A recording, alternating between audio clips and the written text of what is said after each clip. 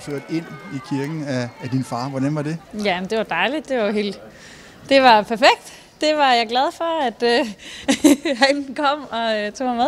Det var øh, nervepirrende, men øh, dejligt. Ja, du var lidt nervøs lige pludselig, men det var hyggeligt. Vi Der fik var- en lille færdig branca, og så gik vi stille og roligt op ad gulvet. Du grinte jo mere, end du græd næsten. Ja, det var skifte hyggeligt. vi. Jeg tror, det var 50-50, ikke? Var det lige blevet til? Lars, hvordan var det at føre Josefine ind? Det var skønt. Vi har jo set frem til dagen, og det var så hyggeligt at køre herover. Vi snakkede, at vi kunne godt køre en halv time, inden vi skulle ind, fordi vi glæder os så meget.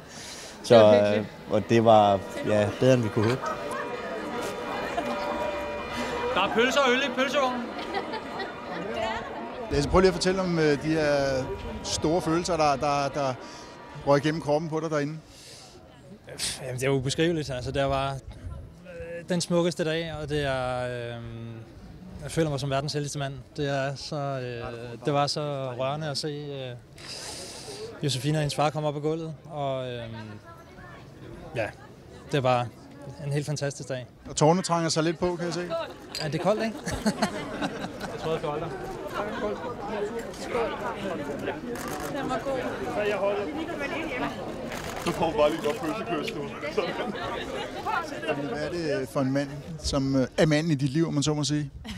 Øh, jamen, Lasse han er jo et fantastisk dejligt menneske, og øh, giver kæmpe tryghed og ro, og så er han bare pisse sjov at være sammen med.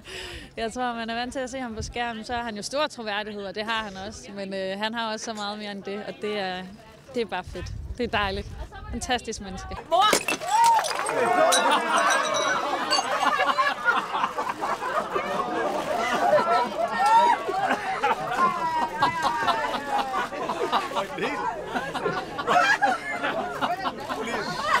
Det